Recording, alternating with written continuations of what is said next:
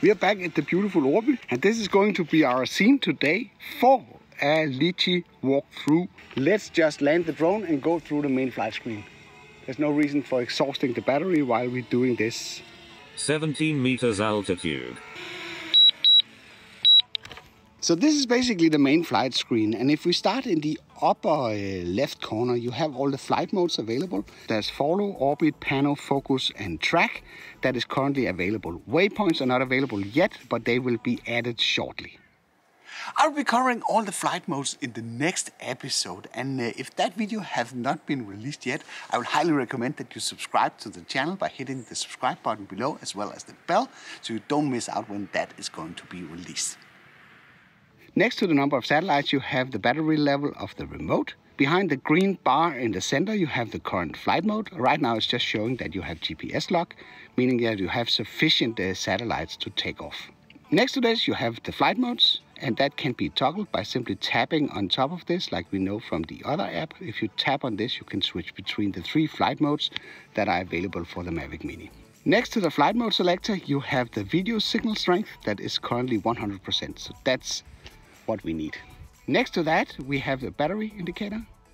And that one is a slider that will allow us to set the minimum battery level. The only issue is that I don't think this feature is supported because it jumps back to 20 regardless which setting that we are putting it to.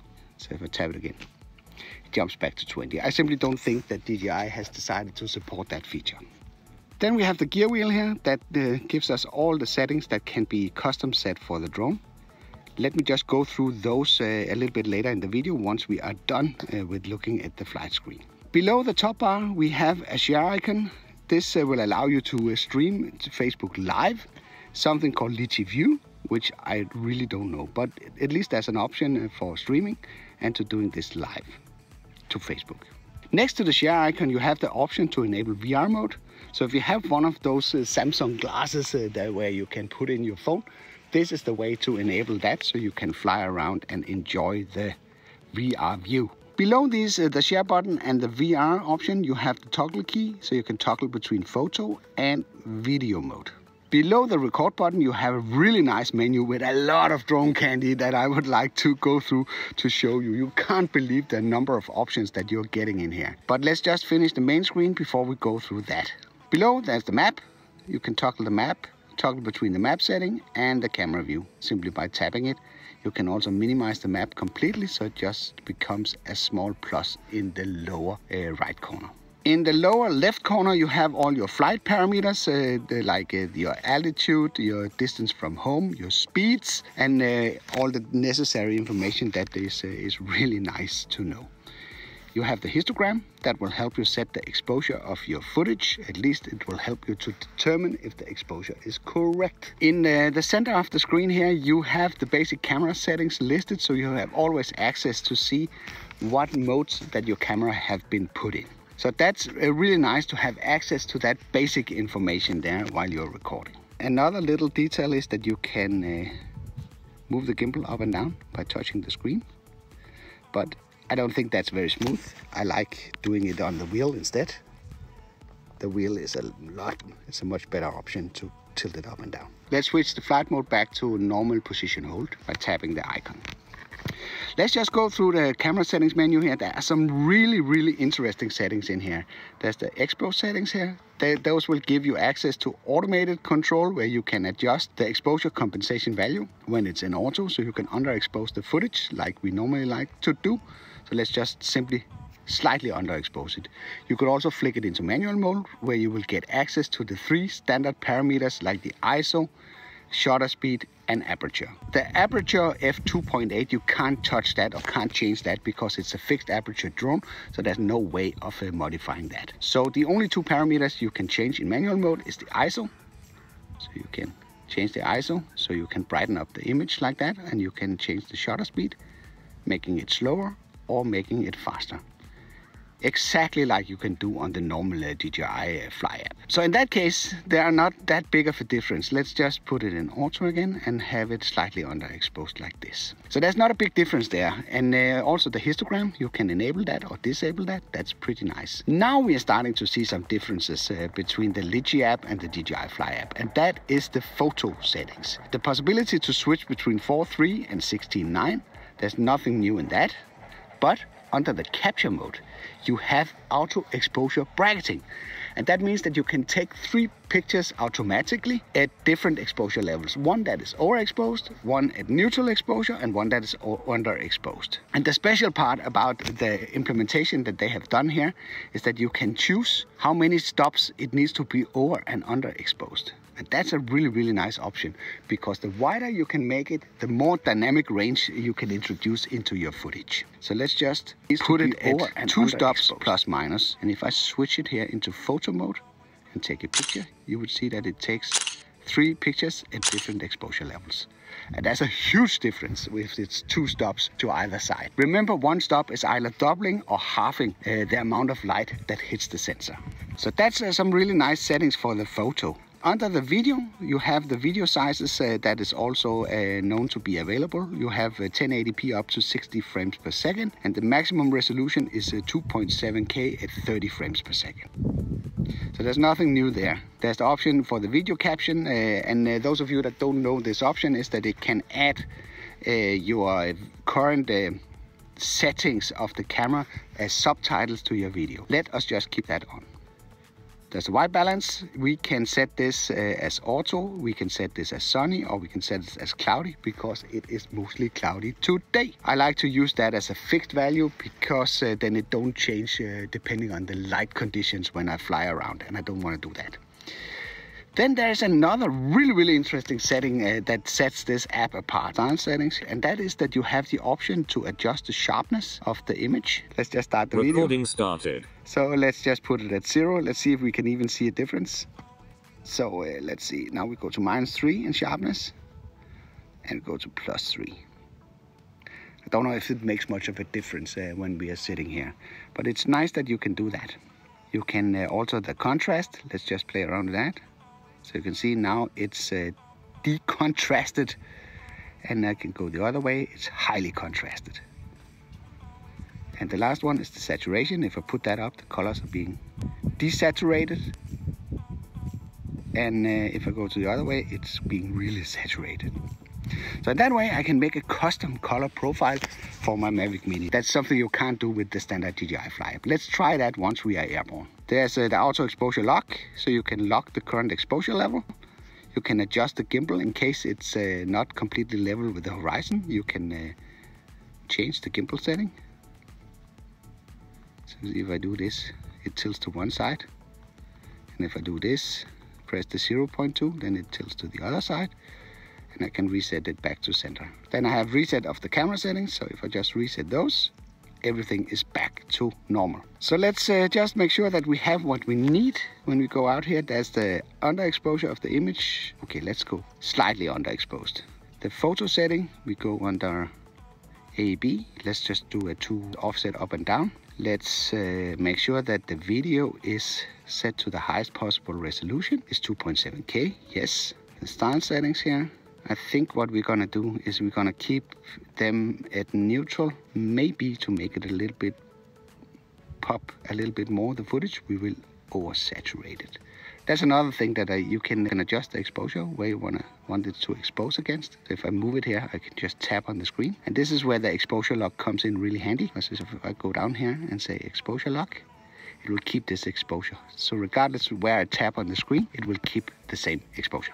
Let's jump under the gear wheel before we fly out and do some stuff here. So uh, there's all the things that you could imagine. Units, uh, map engine, Google Maps, uh, map type satellite. That means that it, you are getting a, not a map, but you're getting a satellite photo. Can show the geo warning zones. Yeah, there's some interesting things down here. It can enable the GPS coordinates and we can also uh, show the vertical speed when it's flying up. So now we have added uh, a few extra parameters that will allow us to see that. And uh, we can uh, see the app version, firmware version, Virtual Flight Controller. There's a Find My Aircraft function that will allow you to find it in case that you lose your drone. I hope you will never use that function. You can restore it, reset all settings, there's a go home altitude in meters and maximum altitude. That one needs to be set in this case because we're outside the city for 100 meters go home altitude is 40. That's nice. There's dynamic home point. That is a really interesting feature that many of you have requested.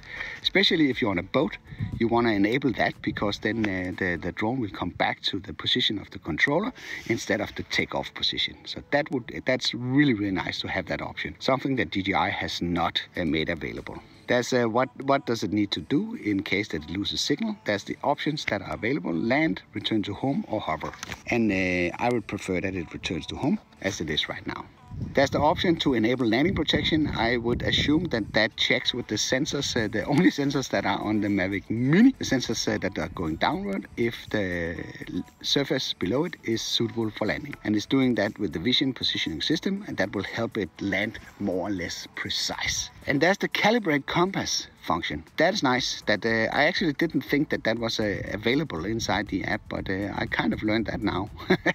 There's a gimbal mode where you can uh, do different stuff with your gimbal. There's one uh, that gives the option to extend the gimbal uh, above the horizon with 30 degrees. And there's the gesture control. So you can operate the gimbal from the main flight screen by simply just touching. Another nice thing that many of you would appreciate, that's the auto record during takeoff. It means that it will start the recording when you're taking Zero off. meters altitude. And that is a really, Zero really nice feature distance. because sometimes you Recording started. forget. You can make it auto stitch the panoramas. That's also a very nice thing. So you will have a nicely stitched panorama inside on your camera roll when you that are on your phone. done. You can cache video, photos, uh, photo preview, and all that stuff. And you can also get the zebra stripes on the screen that will show you areas of the footage that is overexposed.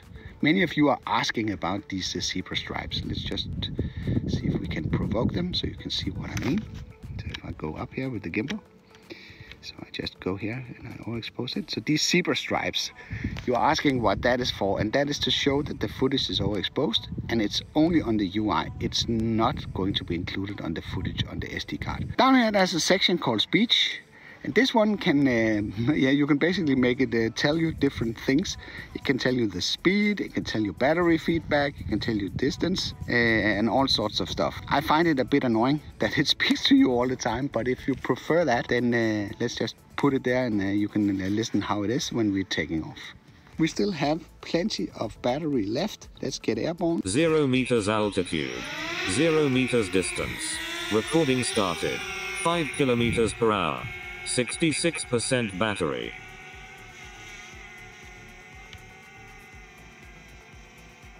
Let's just take a look on the other side here. It's definitely a better view than 30 meters altitude. Looking out. Zero meters distance. Zero kilometers per hour. So see, it keeps talking all the time. Battery. We don't want that. So shut up. but it's nice. It's nice uh, if you're gonna concentrate on different stuff here. Just fly out here to get a nice view of the harbor. So this is the FPV mode. This is basically the standard mode. Ah, okay, the saturation may be, be a little bit too much here. So let's just go in here under style settings, saturation, and then just put it to plus one. So now we are getting a company. Let's just put the drone out here somewhere. So they're not feeling disturbed by this. And as you can see here in the back, there is this beautiful Orby castle. Yeah. Just put that in. So let's try some of the features that are available here. Now this was the video recording. I can include a reference clip for you. Let's just record 10 seconds for you here. 2.7K. I can make that available uh, through the TechDrone Media website. So let's go in here and play a little bit with the parameters here. We have the style settings. So let's make a separate video with that. So this is the sharpness. So I just put that to minus three, zero, and plus three. I can do the same with the contrast. Minus three, zero, plus three. And we could do the same with the saturation. Oh, let's just bring it back here. A zero, zero. And the saturation, minus three. And plus three. It's a bit overdone, so let's just put it at plus one. Stop the video and switch it into photo mode. And uh, remember now we are taking a picture with the uh, three exposure levels. No, we are not. Let's just go in here and say capture mode. It needs to be AEB and with the offset of two stops. We want it exposed, just using the in here as the center. Let's take this away. We take the exposure. Now we get three one that's really overexposed and one that's really underexposed. Let's do one more, just for the sake of it. And then we can jump in and do one where the exposure level is set to a more reasonable level, like plus minus one here. But uh, under and overexposed is only with a single stop. So now we can try and play around with some of the flight modes. So this was part one of my Mavic Mini Litchi app walkthrough. In the next episode, I will cover the different flight modes that is available through the app. Like uh, Active Track, Pano 360, Follow Me mode and Focus mode. If the video has already been released, you will be able to access it through this card. I hope you liked this video. If you did, then feel free to give it a like. If you didn't like it, feel free to press the dislike button twice. Thank you for watching and I'll be seeing you around.